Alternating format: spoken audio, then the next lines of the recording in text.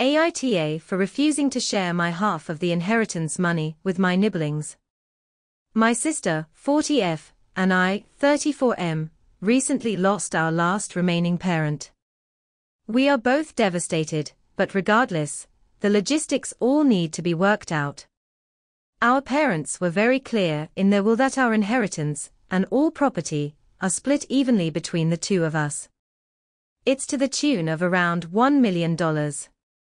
Here's where the problems start. I'm gay.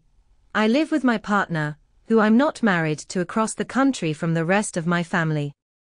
My sister and her husband have three small kids under 11. My sister said that since it's highly unlikely I'll ever have kids, which still remains to be seen, I haven't decided that yet, and because I live a comfortable life currently, that I should take at least a quarter of my inheritance money and open bank accounts for her kids. Instead of using her own money to do that, she wants to buy a McMansion to get out of their smaller cramped house. Basically implying that her and her family need the money more than I do since they are married with kids and I'm not. She thinks my parents were unfair when they created the will and that I should do the right thing to make up for their mistake. Our entire family is split on the issue. My BIL is obviously on my sister's side and says I'm being greedy and don't care about my nibling's future. Our aunts and uncles and cousins all have differing opinions, with the more homophobic side of the family saying I'm being a greedy asshole. This is causing a major rift, and I'm worried that eventually she'll cut me off and won't let me have a relationship with the kids anymore.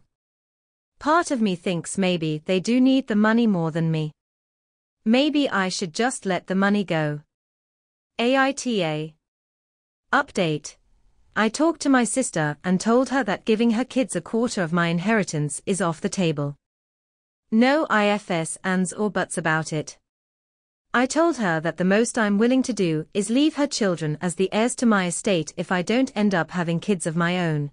But if she wants to set up accounts for them right now, it's going to have to come out of her own money. She was salty about it, but begrudgingly agreed. I think showing her this thread also helped. She's not going to cut me off from her kids. And she said I was crazy to think she would ever do that. Thank you guys for helping me gain the confidence to stand my ground.